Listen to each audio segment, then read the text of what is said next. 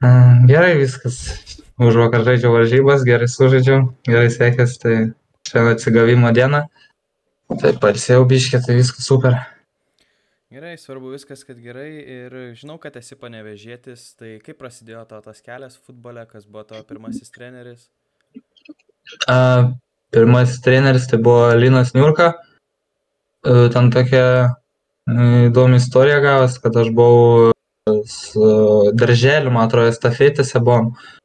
Ir e, tiesiog dalyvavom kažkokiose estafetėse ir ten buvo bėgimas, kažkokias, nežinau, neatsimenu aš. Ir e, po, po tų visų estafečių tė, prie tėčio prie treneris ir sako, va, norėčiau, kad šitas berniukas ateitų į, į treniruotės futbolą. Tai nežinau, tada tėtis man pasakė, sako, nori futbolą lankyti. Ir aš kažkaip taip dar taip nelabai žinau, kas tas futbolas. Bet parodė Ronaldo video, ten, ten kaip jis muša įvarčius, kaip skilina ir panašiai, tai pamačiau iškart sudomino ir sakau, jo, važiuojam iškart treniruotę. Tai va, kitą dieną nuvažiavau treniruotę ir nežinau, tai va ir prasidėjo viskas. Tai kokie to geriausi atsiminimai iš to laikotarpio jaunystėje, kai dar buvai vaikas, žaisdavai, mokykla vis tiek šalia būdavo? Nu, geriausi atsiminimai gal tai būdavo pačios kelionės į varžybas, į turnyrus visokius, kai jaunas būdavai. Nes, nežinau, tie maži dalykai tokie, ten tau mama įdeda sumuštinę, uh, važiuoji su komanda, ten dalinės maistu, ten, nežinau, kokios pergalės, ten jokies, nieki, tai nežinau, man tos pačios kelionės gal su, su, su, su, su komanda būdavo, nu, įsimintiniausias dalykas, tai jau jaučiu kelionės į turnyrus, į varžybas, visur ten mėgi kažkur, ten alytui, nežinau, nesvarbu. Tai va, va čia galbūt būtų įsimintiniausias tas dalykas iš Panevežė, kai jaunas buvau. O vėliau sekė B1 NFA akademija, taip? Taip, po to buvo B1 akademija NFA. tai ten gavos taip, kad Gal taip, kad labai daug žaidėjų išsiskirstė iš komandos, nes daug kas nuėjo mokytis, daug kas nuėjo kitur. Tai gal taip, kad e, nebebuvo labai daug žaidėjų ir mes ten atvažiuodam į varžybas, ten gal į tą U13 ar U14, neatsimenu, koks ten būdavo ta elitinė lyga. Tai atvažiuodavom ir tiesiog atvažiuodavom nuo 11 žaidėjų, 12 žaidėjų ir nebūdavo net kompakiai žaidėjais, tai treneris sako, manau, tau laikas būtų pabandyti į akademiją nuvažiuot. Tai gavau kvietimą, nuvažiavau ir ten prabau savaitę, liktais jo. Tai nežinau, iš tikrųjų labai patiko, iškart sudomino, tas gyvenimas atskirai be tėvų, komanda bendrai gyvena, visur į mokyklą iš mokyklos, treniruotė iš treniruotės, mėgi kartu. Tai va, tai iškart sudomino ir išvažiavau ten. Gal neatsimenu, po stovyklos, man, ne po tos stovyklos, po peržiūros, po gal dviejų dienų iškart išvažiavau. Tai vėliau vėl grįžai į Panevežį į vyrų komandą? E, jo, tada gavosi irgi tenais toks, kad, e, kad, kad pradėjo berėti komandą po biškį ir e, aš gavau pasiūlymą iš Panevežio akademijos grįžti. Tai pakalbėjau su treneriais, atvažiavau pirmą treniruotę ir sako, kad nu, tu žaisi pas mus tikrai šimtų procentų, Tai nežinau, tai va, grįžau ir viskas taip gerai susiklostė ir nežinau, labai džiaugiuosi. Tai kas dar įsimintiniausia, tai jau čia va tie laikai būtų iš, iš tų 19, ten visi, visi mano draugai iki dabar yra, tai, tai va. Tai ir pavyko debituoti Lietuvos A lygoje, atsimeni tą debutą, galbūt yra kažkuo įsimintinas, kad debitavai aukščiausia Lietuvos lygoje. E, jo, e, kas, kas įsimintiniausias dalykas, tai gal kad nežinau iš kur, bet panevežį prasidėjo kalbos kažkokios, kad Raukas Garasas mane kviečia į Kauno Žalgirį. Nors aš apie tai nieko nežinau, kad kviečia. Tai ir tada mums kaip tik buvo savaitgalį varžybos per Žalgirį ir nežinau kodėl, bet uh, gal dėl to, kad nežinau, gal parodyti, kad kažkaip, kad uh, jie man leis žaisti, panevežys leis žaisti ir panašiai. Tai išleido tada, man atrodo, aš neatsimenu, kiek gal 13 minučių, gal 12 minučių, tai nežinau, iš tikrųjų tikrai įsimintinas, įsimintinas momentas, A lygai debutuot, neatsimenu, kiek ten man 16 metų buvo 15. Tai va, tai iš tikrųjų irgi įsimintinas dalykas. Tai va. Tada sekė Italija, Genujos klubo akademija. kaip atsimeni tą pakvietimą, ar buvai nustebintas, ar jau iš kažkur žinojai, kad tavim domisi Italijos klubai, kaip atsimeni tą laikotarpį, kai pasukai į Italiją? Uh, atsimenu, kad tai buvo vidurys sezono pirmos lygos ir atsimenu, kad, gal, kad žinau, žinau, kad domisi, yra klubai, kurie domisi iš Italijos, buvo ir ne tik iš Italijos, e, bet kažkaip daug nepergalvojau to, kad čia va, kažkada reiks važiuoti ir kažkaip, nežinau, buvau pripratęs prie namų visada. Ir gavus taip, kad pasakė, kad, e, kad nu, yra susidomėjimas ir jis didelis yra. Tai iš pradžių tenais turėjau važiuoti, po to turėjau kitą klubą važiuoti, bet e, kadangi ten, nežinau, ten gavas taip, kad vėlai labai nuvažiavau kažkodėl. Tai, tai nežinau, patiko patiko visas visas vis visa ta sistema jų treniruotės buvo aukšto lygio tai net nedvejojau pasilikt ir tiesiog pasilikau tenais genui tai va Tai vat ir norėjau paklausti dėl tų jaunimo treniruočių, kiek skiriasi jaunimo tobulėjimo galimybės ten, galbūt gali papasakoti, kai viskas vyksta skirtingai nei Lietuvoje? E, na, ar, skir ar skirtingai nei Lietuvoje tarp jaunimo, aš nežinau, nes dabar kas vyksta, tai aš nežinau tarp jaunimo, bet uh, tada, kas mane galbūt nustebino ten atvažiavus, tai buvo, tai buvo tiesiog, kad uh, tave paima nuo, nuo viešbučio uh, administratorius, jisai tave nuveža į treniruotę, tau ten yra padėta apranga, už, už tave daug kas yra padaryta ten, kad ir tas pats eina dalykas aprangos, kad ir ta pati E, fizinės, e, fizinė programa, viskas tau yra sudėliota, maistas, tai jie, italai moka tą vertinti ir jie atiduoda viską aikštėj, kas yra atiduodama už juos už aikštės. Tai ir šiaip pati ta jų kultūra futbolo yra žymiai, žymiai nežinau, labai skiriasi. Tai, tai nežinau, tai pačios treniruotės gal, galbūt tai būtų, e, kad jeigu pirmo komanda žaidžia e, taktiką ten 4-3-3, pavyzdžiui, tai vis vi visos ir primavera ir u aštuoniolika u septyniolika ten visas jaunimo komandos žais tą pačią sistemą ir žais tuo pačiu principu kaip kaip yra pirmos komandos e, tada labai vertina individualius žaidėjus e, nes nežinau italam reikia tokių žaidėjų nes bent jau kiek kalbėjau su su direktoriais tai dėl ko mane ir pasikvietė dėl to nes aš nu aš mėgstu eit vienas prieš vieną mėgstu kurt žaidimą tai tai va tai sakė kad labai reikia jiem e, žaidėjų kurie gali kurt. Tai o patys italai tiesiog nu nežinau aš pamačiau buvau su pirma komanda irgi tris keturis kartus gal tai tai pamačiau lygį tai iš tikrųjų vau nu net nemoku pasakyt kuom skiriasi bet tiesiog skiriasi labai daug tai va tik tiek, tiek būtų apie italus Tai šiaip iš Lietuvos daug jaunų žaidėjų traukia į Italiją ir dabar, kiek žinau, yra bent jau pora žaidėjų, kurie yra Genuojos akademijoje liktais.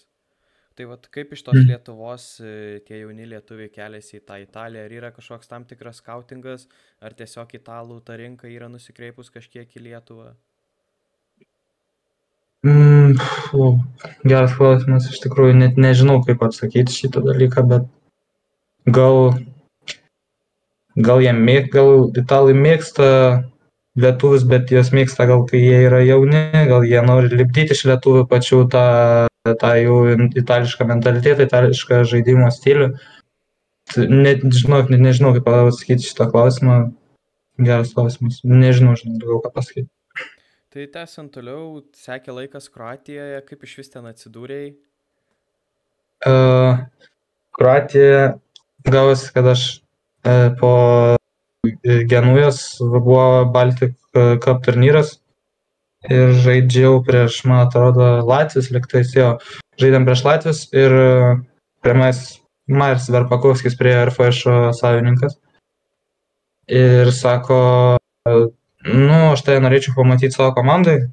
Ar, ar, tu, ar tu norėtum atvažiuoti ir, ir, ir, ir norėtum pasirašyti tai aš e, pamatęs pa, pačią bazę, e, paklausęs biškai iš aplinkinių žmonių, kaip, kaip, kokia yra organizacija pačios Rygos refešo, tai nedvėjaudamas sutikau ir e, gavosi, kad pasirašiau sutartį su jais.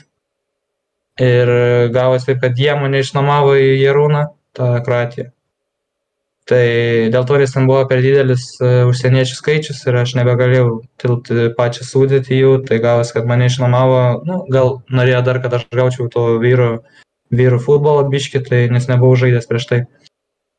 Tai tada nuvažiavau į Jarūną, e, į Kroatiją, tai ten, ten nežinau, ten futbolas biški, biški kitoks net nuo, net nuo pačios Italijos, nes Kroatai labiau žaidžia E, fizinė jėga, bent jau antrojo lygio, kur aš buvau. Tai ten labai yra daug fizinės jėgos, ten e, mažai, yra, yra žaidėjų individualiai stiprių tikrai labai daug, bet jie ką pagrindę žaidžia, tai jie pagrindę žaidžia fiziš, fiziškumą, pas juos greičiai, pas juos fiziškai stiprus turi būti, kad žaistum ir nežinau, tai va, tai ten suždžiau nedaug varžybų, nes nu, iš tikrųjų buvo labai sunku ir psichologiškai, ir, ir, ir, ir fiziškai buvo sunku žaisti. Tai aš tai nelabai, labai nedaug varžybų sužaidžiau, bet e, ir davė dar tas, kad e, kai rinktinės tarpas būna, tas pertrauka, e, jie nestabdo čempionatų. Tai gaudas taip, kad aš išvažiuodavau ten prieš varžybas dieną ir kai grįždavau, nebe, nu, automatiškai negalėdavau žaisti dėl to, nes ir pavargęs, ir tas nuovargis, ir varžybos surinkti nedasidėjusios, tai va, tai gavas, kad iškrito gal taip kokias šešias, septynias varžybos, bet Džiaugiuosi ir tuo etapu tikrai. Tai po to vėl grįžai RFS e ir RFS e tikrai daug lietuvių, tai Karolis Uzėla, taip pat buvo Černiauskas vartininkas, Paulius Jekelis. Kaip va, tas yra, kad esi vis tiek užsienio šaly, nors palyginus netoli Lietuvos, bet tas tie lietuviai šalia kažkiek jaučiasi tas toks kito, kad yra saviškiai. Jo, iš tikrųjų labai jautėsi, atrodo, kad atvažiavau komandą, atvažiavau prie sezoną ir pačio Uzėlas dar tada nebuvo, nes ten rinkosi, rinkomės mes ten žaidėjai, kurie mažiau žaidėm, e, mažiau žaidėm minučių, rinkomės anksčiau prisiziną, tai ten būdavo tokios treniruotės, kad tenais per savaitę keturias treniruotės padarai, ten toks įsivažiavimas. Keturias treniruotės padarai, trys laisvas ir panašiai. Tai va, po to atvažiavo Uzėlą, atvažiavo Jekelis ir nežinau, iš tikrųjų pats ir Faišo, Faišo komanda priemė labai, labai, labai šiltai iš tikrųjų kadangi Latvijai man visada sakydavo, broliukas, broliukas. Tai, tai va, tai iš tikrųjų labai šiltai priemė, visada, visada šneka, tai visada nesvarbu, tu jaunas, ne jaunas, visada šneka, visada patarimų tų reiškia būna, pakelia balsą, bet čia visur normalu. Tai, bet va, kas su lietuvis susiję, tai jo, su Zėla, mes tai treniruotė, tai iš treniruotės, tai ten kartu tai pavalgyti, tai pas jį pabūnam, tai išeinam į miestą kažkur kažkur tai iš tikrųjų labai jautėsi, kad yra lietuvis ir kad atrodo, kad, nu, atrodo, kad nesu kitoj šalyje, atrodo, kad esu Lietuvoje ir irgi ten, nu, RFS šilčiausi prisiminimai. Tai va. Tai vėliau sekė etapas Tukumse, kur tikrai atsiskleidė šį sezoną ir per 15 rungtynių pelnėjo 8 įvarčius. Tai vad kaip apibūdintum tą Tukumso etapą, vis tiek komanda nebuvo pačiam aukščiausiam ligmenį Latvijos futbole, nebuvo ten turnelė, lentelės viršuje, bet e, vis tiek atsiskleidėjai individualiai labai gerai atsiskleidėjai. Gal plačiau papasakotum, kas įtakoja tą tavo atsiskleidimą? Mm, na, kas įtakoja, tai, e, tai tik darbas, nes surfą aš dariau pasirašymą ir jis buvo tikrai labai sunkus ir fiziškai, ir, ir emociškai, ir visai. Tai visada dirbdom po treniruočio ties, e, ties smūgiavimais, ties kersais perdavimais, tiek uh, tiek pats anksčiau aš darydavau, visada, visada darau e, ten driblingo pratimus, smūgiavimą pats darau. Tai aš manau, kad tik darbas lėmė šitą dalyką. O apie patį Tulkumsą, tai gal tiesiog, e, nežinau, tiko komanda, e, patiko kurt, treneris leido kurt žaidimą. Tai nežinau, ar man, kai, man patinka kurt, aš takuojant žaidės. Tai nežinau, iš tikrųjų, pati komanda buvo jauna, tai nebuvo jokių tenais kažkokių spaudimų ar kažko ir iš trenerių pusės, iš, iš, iš, iš, iš vadovybės pusės nebuvo jokio spaudimo ir gal tas davė tokią biški laisvę šiek tiek tam tikrose, tam, tam tikrose vietose. Tai va, tai iš tikrųjų nežinau, e, kai prasidėjo sezonas nesijaučiu, kad aš, kad aš net nebuvau pagalvojęs, kad aš galiu tiek įmušti. Bet kai pradėjo eiti vienas, antras, trečias, ketvirtas, tai pajutai, kad gali ir kad, ir kad tikrai įmanoma. Ir kiekvien, kiekvienas jaunas žaidėjas, kuris aš manau, kad geriau važiuoti žaidėjai jaunai iš savo pusės šnekant į Latviją žaisti silpnesnę komandą, nei bandyti, nei bandyti kabintis Lietuvoje. Bet čia tik iš mano, iš mano pusės šnekant dėl to, nes aš su kiek buvau susidūręs ir kaip buvau susidūręs su Lietuvos klubais, tai aš manau, kad geriau važiuoti Latviją į silpnesnę komandą ir kabintis tenais, nes jie myli, myli lietuvius tikrai ir pats direktorius man sakė, jeigu pažįsti kokį žaidėją, kuris nori žaisti futbolą, jaunas, geras, perspektyvus, tikrai pasakyk man, aš pažiūrėsiu, pas, galim, galim pasikviesti tūkums ir panašiai. Tai va, tai iš tūkumso tikrai patys šilčiausiai jis prisiminimai tiek iš žmogiškos pusės, tiek iš futbolo pusės. Tai, tai va, tai tiek galiu pasakyti apie tūkumsą. Tai ir pajutė, kad po šito etapo Latvijoje atsirado papildomas dėmesys iš medijos, nes vis tiek ir Lietuvoje pradėjo daugiau apie tai kalbėti. Ar pasijutė tas toks pašalinis dėmesys ar spaudimas koks nors? Mm, ne, spaudimas tai ne, nes e, aš niekada negalvoju, kad aš, žinau, kad aš čia kažkas esu, kad aš žaidėjas ar kas. Bet e, jo, to dėmesio iš medijos tikrai, tikrai padaugėjo. E, ten, aišku, kad ir nelabai man patinka ta, ta, tas, ta, tie visi dalykai, bet jo, padaugėjo iš medijos visokių prašymų, visokių interviu ir panašiai. Bet manau, to, toks jų yra tų žmonių darbas ir mes, manau, turim atiduoti šitą duoklę, kaip esame kaip, kaip žaidėjai. Tai, va. tai tik tiek. Tai per praėjusį rinktinės langą buvai pakviestas į vyrų nacionalinę komandą. Kokie, kaip jautėsi, kai buvai pakviestas, ar vis tiek Lietuvos rinktinė, koks buvo jausmas, kai sužinojai, kad va, tave kviečia į rinktinę? A, tai buvo taip, kad žaidžiau prieš Rygą FC varžybas ir tada aš ten įmušiau įvartį ir tokį gražų įvartį. Ir aš nežinau iš vis, kad treneris bus šitose varžybose. Ir aš e, kažkaip aš atėjau prie tėvų po varžybų ir e, ten pasveikinus tėvais, ten šnekam, šnekam ir aš taip pats į kairę pusę žiūriu, opa, ir Jankauskas. Tai pasveikinus įvarčią, ten paklausė, ar aš, ar, e, ar prieš gaudamas kamuolį žinojau, ką darysiu. Tai pasakiau jo, nu, ir viskas, ir tiesiog mes labai trumpai pašnekėm. E, ir tada važiavau namo. Ne, gal po kokių, dar po vienų varžybų, pareigos FC varžybų, e, važiavau namo, pabūt biškį dar po laisvų dienų ir žiūriu, kad parašė man administratorius, kad sveikas, jis kviečiamas nacionalinę rinktinę. Ir nežinau, aš tikrųjų biškį aptirpau, parodžiau tevam žinutę, pasidžiaugiam visi ir, ir, ir, ir viskas. Tai tokios tos emocijos ir buvo, aišku, labai apsidžiaugiau. Tai va tai vat e, ir apie tą norėjau pakalbėt kad nors ir ne nedebiutavai prie šiame lange bet atrodo kad edgaras jankauskas tavim pasitiki pasitiki tik kitais jaunais futbolininkais. Tai pavyzdžiui gvido gineičio galima pavyzdį pažiūrėt kur tikrai treneris stebi žiūri jį palaiko. Ar jautėsi rinktinėj tas toks kad tu esi jaunesnis bet treneris tarkim užstoja duoda patarimų kažkokių kad tikrai kad ir tavęs į aikštę neišleido bet jaučiasi kad jisai tavim pasitiki? E, tai jo, tai treneris iš tikrųjų apie trenerį, apie, apie jį gali pasakyti geriausius žodžius, nes uh, jaučiasi iš karto iš jo toks atsidavimas, šimtaprocentinis. Ties, kad ir tu jaunas žaidėjas, kad ir tu ne jaunas žaidėjas, nesvarbu, tenais pas jį yra, kaip jisai sakė, aš turiu pozicijai uh, du lygiai verčių žaidėjus, tai nežinau, nebuvo tokio, kad tu esi ten jaunas, kad tu ten kažko negali, kad tu čia biški mažiau sauliais ir panašiai, ne, jisai buvo treniruoti, kai man ten nepavyko driblingas ir aš taip biški užsidariau vidų ir jisai prie man sako, daryk, daryk, nesvarbu, prarasi kamuolį, mums to reikia, kad tu darytum, darytum, darytum. Tai va, tai ir pačiam, ir pats Gvydas e, patenkintas, kiek šnekėjom, trenerių, nesijaučia iš vis, kad tu ten ar jaunesnis, ar kažkaip, tikrai ne, visada dalina patarimus, visada pats, kai atakuojantis žaidėjas, tai mato, mato tos dalykus puikiai visus ir, ir, ir, ir, ir viskas. Tai visada patarimų pilna ir pamokymų visokių. Tai va, tai iš tikrųjų apie trenerį tai geriausi žodžiai ir labai geras specialistas ir kiek atiduoda tam dalykui, tai wow. Kaip pati rinktinės atmosfera, kokie įspūdžiai po viso šito lango? Iš tikrųjų atmosfera mm, labai gera, priėmė net šilčiau nei, nei tikėjus pats komanda.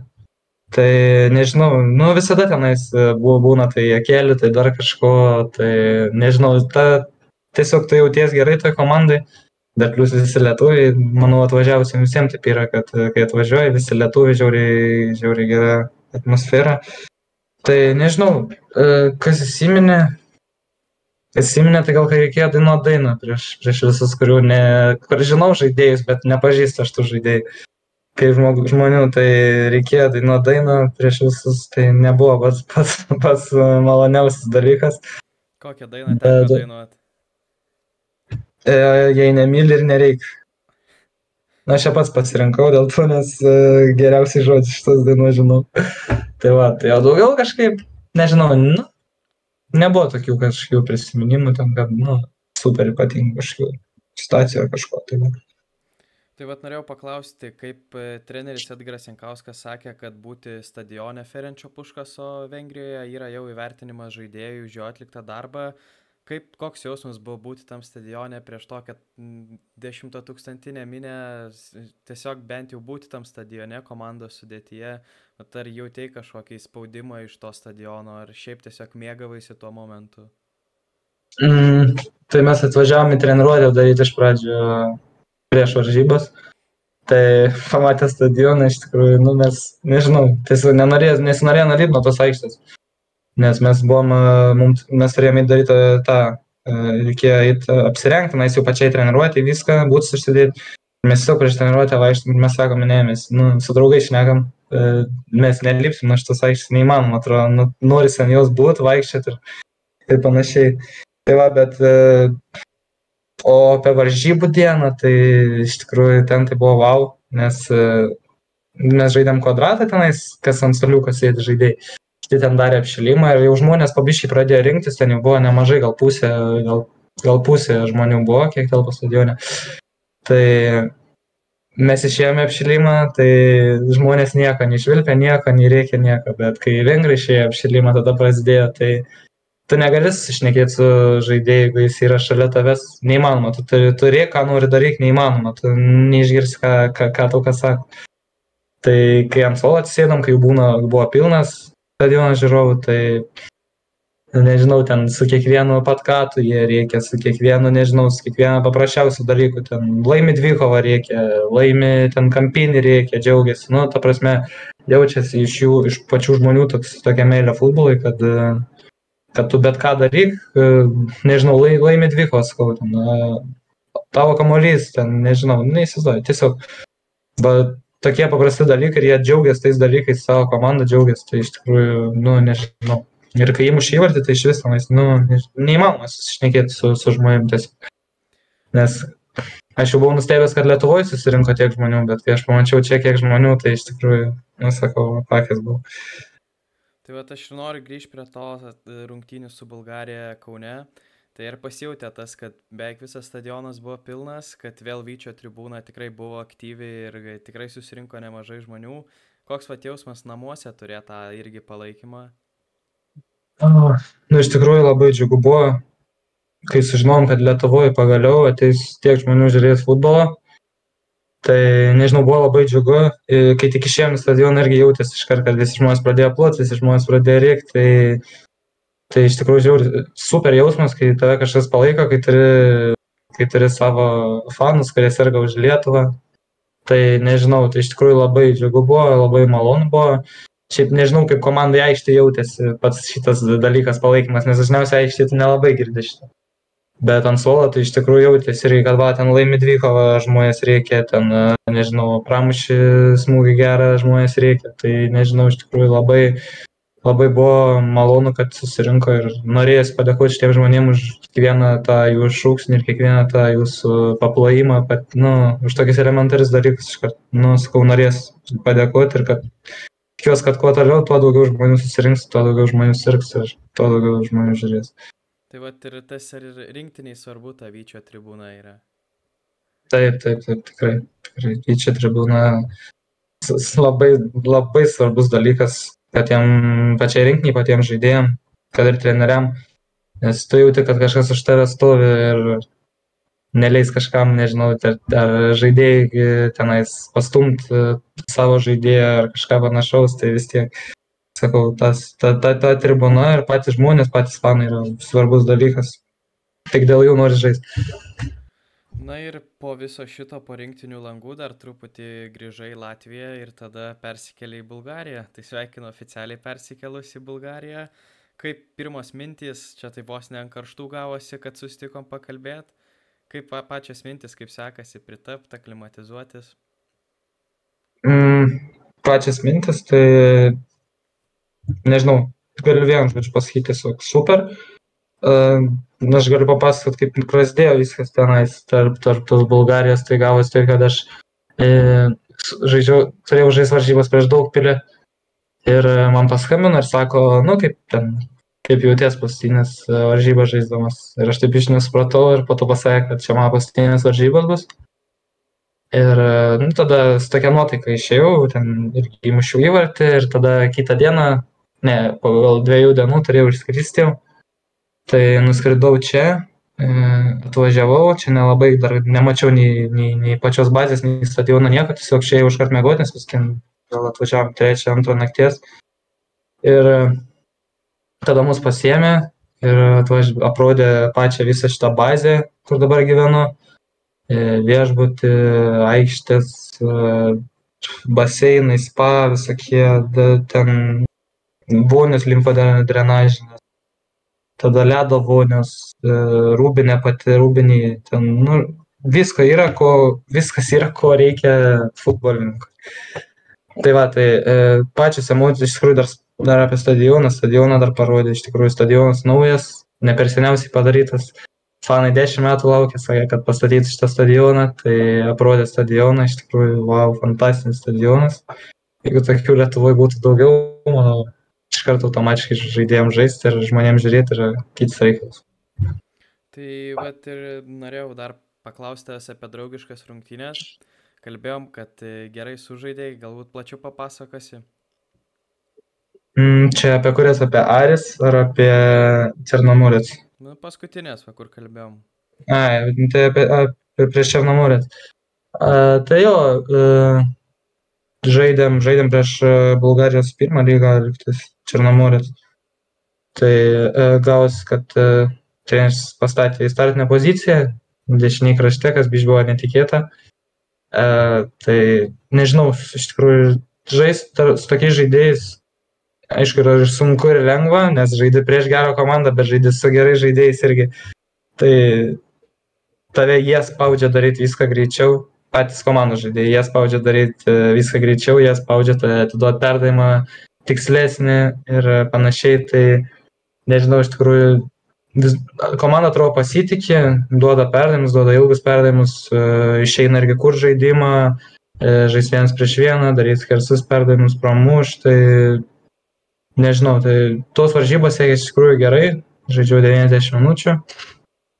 Tai pirmą kėlinį žaidžiau krašte, po to įdėjau palimą.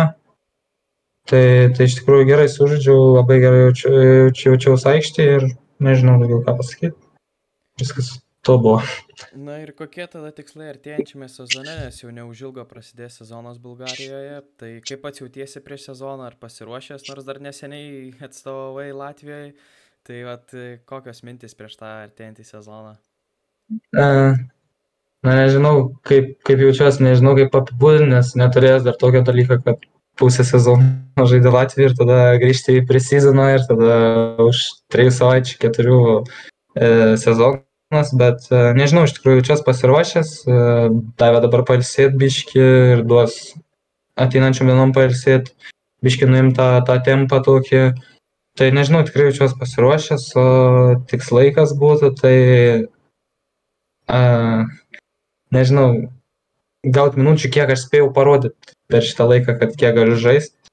Tai jeigu jeigu ten ir bus ne ne tiek daug minučių jei ten bus ir nežinau išvis gali būt kad ne nežaisi tam tam bulgarijos čempionate tai nežinau iš tikrųjų nu nežinau ką pasakyt. Įmušti įvartį čia nėra mano tikslas, mano tikslas yra tiesiog daryti tai, ką aš moku, tai, ką aš sugebu ir kaip aš tai galiu padaryti. Tai mano tikslai tokie, nebus mano tikslas ir nemušti įvartį, ten nežinau, padaryti ten e, perdavimą, rezultatyvų ir panašiai, tiesiog jausis gerai aikštė ir padėti komandai. Tai va. Tai linkiu didžiausios sėkmės ir futbolą, ką norėjau aptariam. Ir net kelis kartus šį žmonės uždavė šį klausimą. Čia bus paskutinis klausimas, tai kokia tavo plaukų rutina?